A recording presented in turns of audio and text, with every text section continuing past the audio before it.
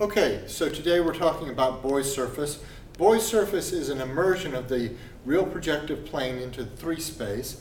It has exactly one triple point.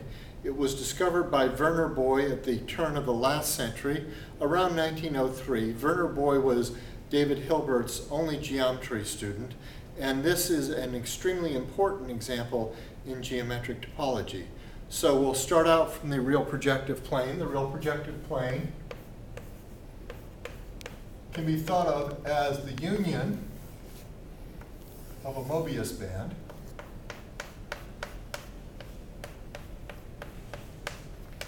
and a disk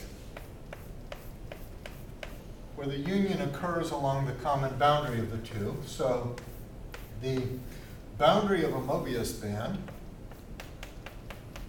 maybe we'll shade that like this, is a circle, and the boundary of a disk is also a circle. And it's fairly easy to see that if we wanted to glue these together in three-dimensional space, just taping these edges together, we'd have a problem because this disk would have to pass through this Mobius band. But since we know that the Boy's surface has a triple point, we're going to construct it from the triple point outward as follows. So we start out with a triple point. It's a general position triple point, so it looks like the intersection of the coordinate planes inside 3 space.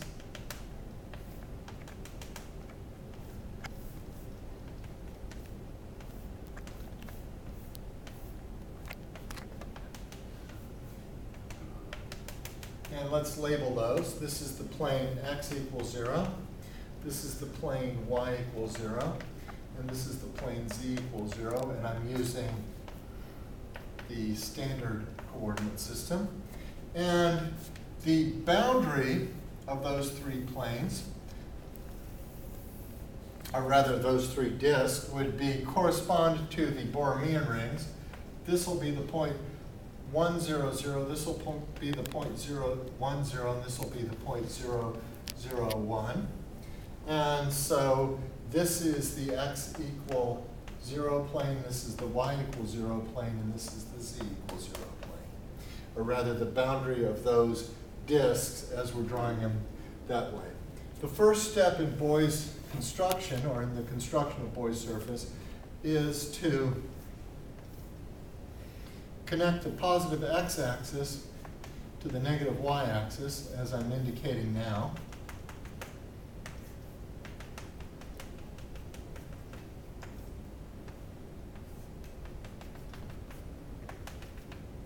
And on the Borromean model, we use a highly sophisticated technical tool called an eraser and connect x to y like that. So this is the point 0, 1, 0. This is the point 0, 0, 1. And this boundary here is the same boundary as we have over here. So this is what happens under the boundary now. Then the next step is to connect the positive y-axis to the negative z-axis, like so.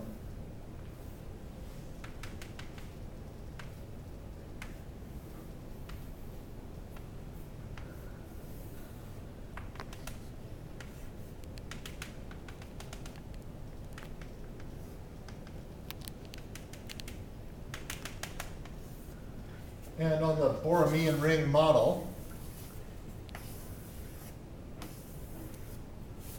we have positive x got mapped to y, positive y gets mapped to z, negative z. And um, now we have a, let me thicken that curve up just a little bit. We'll take that curve like this.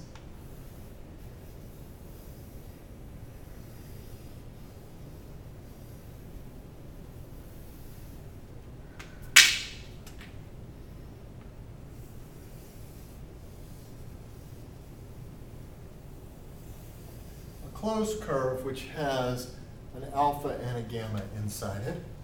And then the next to last step is to connect the positive z-axis to the negative x-axis.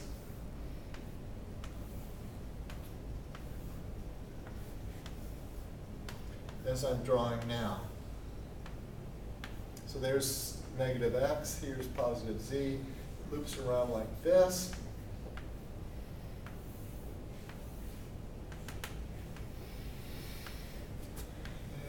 Something like that. I'll try not to draw all the details behind. And we'll look at the Borromean model. We have x connected to y, y connected to z, and then z connected to x.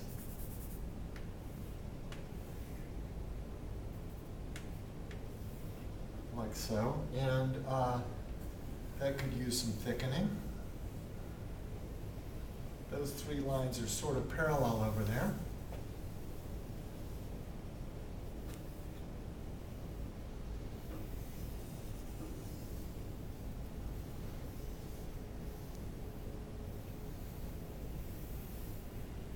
And you'll observe that this shape here is a trilobite shape.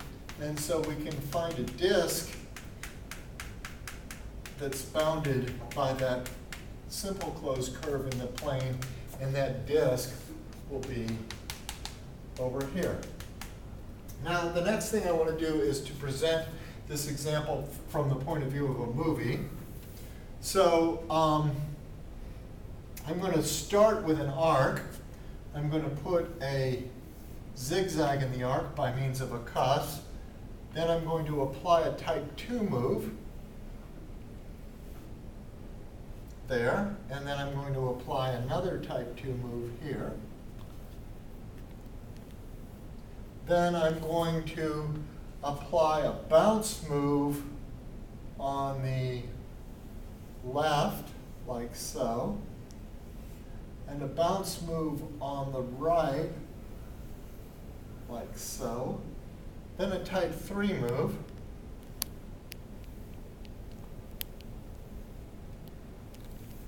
And then a type 2 move, which decreases. Then I'm going to put in a saddle.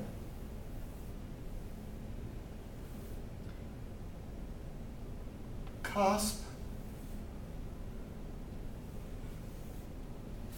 and bounce and 2 and zigzag. And then I'm going to close everything up to a simple closed curve.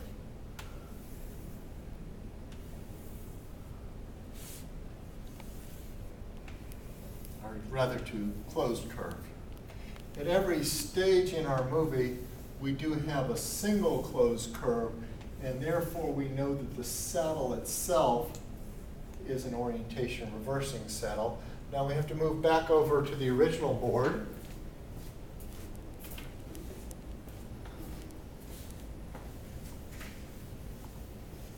And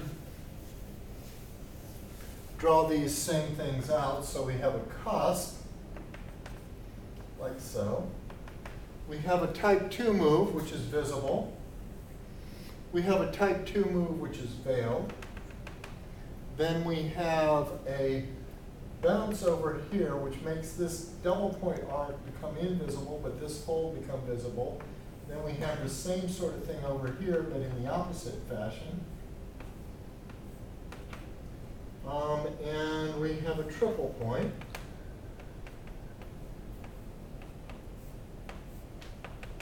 like that. Um,